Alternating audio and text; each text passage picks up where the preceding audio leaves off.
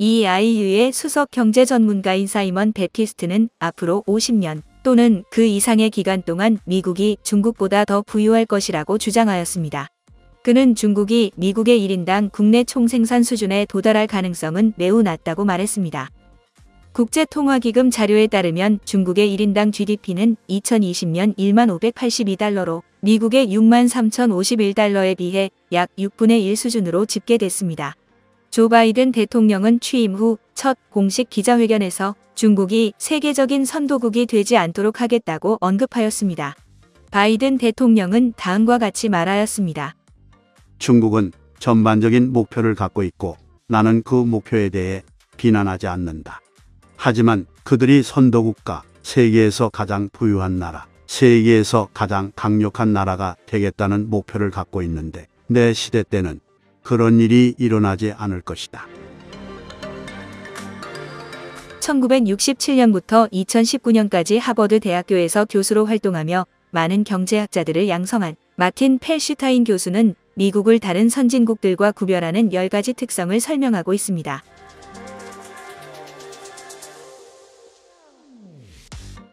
미국 근로자들은 연평균 1800시간 일하는데 이는 프랑스의 1500시간과 독일의 1400시간보다 많습니다.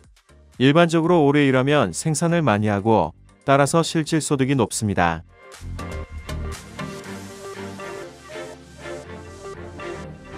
수압을 이용한 파쇄기법을 통한 천연가스 생산으로 미국의 기업들은 충분한 에너지를 상대적으로 저렴한 비용에 공급받을 수 있습니다. 미국의 규제들이 완벽하지는 않지만 유럽 국가들과 유럽연합이 부과하는 규제들에 비해서는 기업에 훨씬 덜 부담을 줍니다.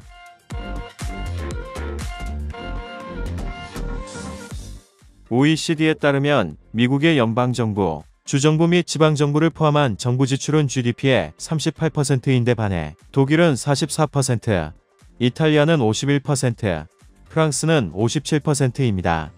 다른 나라들의 정부 지출 수준이 더 높다는 것은 소득의 더 큰 몫이 세금으로 빠져나갈 뿐 아니라 더 높은 이전 지출로 인해 근로 요인이 저해된다는 의미입니다.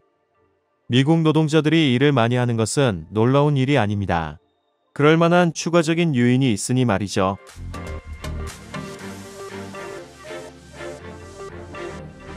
주들 간의 경쟁은 기업가 정신과 노동을 장려하며 주들은 각각의 법규와 세제를 토대로 기업과 개인들을 유치하기 위해 경쟁합니다.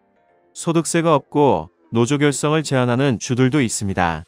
주들은 주민들에게 낮은 수업료의 양질의 대학 교육을 제공합니다. 주들은 법적 책임에 관한 규정을 통해서도 서로 경쟁합니다. 법률 시스템은 새로운 기업가들과 대기업들을 끌어들입니다. 미국은 정치적 분권화 정도의 측면에서 고소득 국가들 중에 특이합니다. 미국은 이러한 장점들을 계속 유지할 수 있을까요? 케인즈와 더불어 20세기 전반의 대표적 경제학자로 평가되는 조셉 슌페터는 다음과 같이 주장하였습니다. 국민들에 의해 선출된 사회 정당들이 기업가 정신을 제약하는 복지국가를 만들 것이기 때문에 자본주의는 쇠퇴할 할 것이다. 슌페터의 경고는 오늘날 미국보다는 유럽에 더 적절해 보입니다. 만일 슌페터가 오늘 우리 곁에 있다면 독일, 영국, 프랑스 등 유럽의 국가들이 미국에서 달성되었던 것과 같은 견고한 경제 성장을 이루지 못한 이유로 사회민주 정당들의 성장과 그로 인한 복지국가의 확대를 꼽을 것입니다.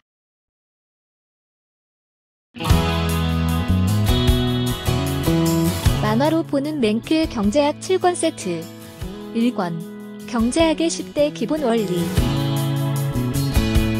2권. 시장의 작동 원리. 상권 기업의 행동 원리 4권 소득 분배의 기본 원리와 경제학의 새로운 분야 5권 국민 경제의 기본 원리 6권 화폐와 환율의 작동 원리 7권 경기 변동과 경제 정책의 작동 원리. 만화로 보는 맹크의 경제학 6개 언어로 번역되어 세계로 수출. 한국을 넘어 세계인들이 경제학을 즐깁니다.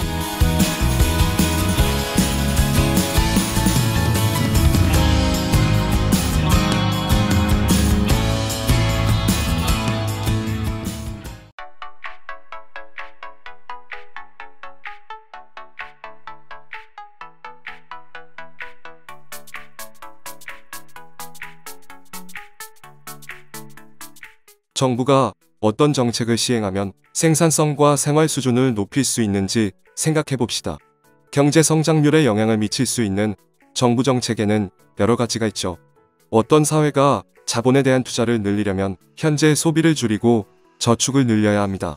따라서 정부가 저축과 투자를 장려함으로써 경제 성장을 촉진하고 장기적으로 생활 수준을 높일 수 있죠. 외국인 자본 투자는 경제 성장을 추진하는 하나의 방안입니다. 투자의 과실이 일부 외국으로 돌아가지만 투자로 인해 대상 국가의 자본량이 늘어나고 따라서 생산이 증가하며 실질 임금도 상승합니다. 교육은 인적 자본에 대한 투자로 물적 자본 못지않게 한 나라의 장기적 번영을 좌우하는 중요한 변수입니다. 미국의 경우 역사적으로 볼 때 학교 교육을 1년 더 받으면 평균적으로 임금이 10% 상승했죠. 따라서 정부가 국민의 생활 수준을 향상시키기 위해 취할 수 있는 한 가지 정책은 좋은 학교를 만들고 국민들이 학교 교육을 받도록 장려하는 것입니다. 인적 자본은 개개 교육을 뜻하는 용어지만 사람에 대한 또 다른 유형의 투자, 즉 국민들을 건강하게 만드는 지출을 가리킬 수도 있습니다. 다른 조건이 같다면 건강한 노동자들의 생산성이 더 높죠. 국민 건강 증진을 위한 적절한 투자는 한 나라의 생산성과 생활 수준을 높이는 길입니다.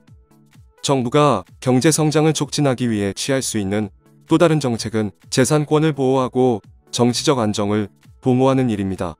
재산권이란 사람들이 자신이 보유한 자원에 대해 권리를 행사할 수 있는 능력을 말하죠. 정치적 불안은 재산권에 대한 위협입니다.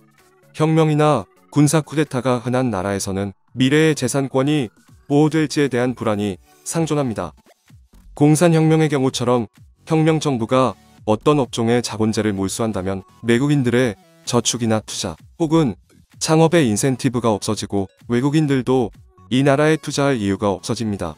오늘날 경제학자들은 대부분 가난한 나라들이 자국 경제를 세계 경제에 통합시키는 대외지향적 정책을 추구하는 편이 바람직하다고 믿습니다.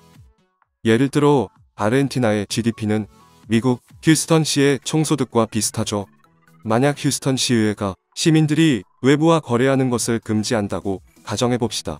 이제 휴스턴시는 무역을 통해 얻는 이익을 누릴 수 없기 때문에 소비자들이 필요한 모든 재화를 자체적으로 생산해야 할 뿐만 아니라 다른 도시에서 첨단 장비를 수입하는 대신 자본재도 모두 자체 생산해야 할 것입니다. 이렇게 되면 휴스턴 시민들의 생활 수준은 즉시 하락할 것이고 시간이 흐를수록 상황은 더욱 악화됩니다. 반면에 한국, 싱가포르, 대만 등 대외지향적인 정책을 추구한 나라들은 급속한 경제 성장을 이룩했습니다. 100년 전에 비해 오늘날의 생활 수준이 높은 주된 이유는 기술 지식의 진보 때문입니다. 대부분의 기술 진보는 개별 기업이나 발명가 등 민간 부문에서 발생하는데 민간의 이러한 노력을 정책적으로 장려할 이유가 있습니다. 지식은 상당 부분 공공재의 성격을 가지죠. 따라서 국가는 국방처럼 새로운 기술에 대한 연구와 개발을 장려하는 역할도 수행해야 합니다.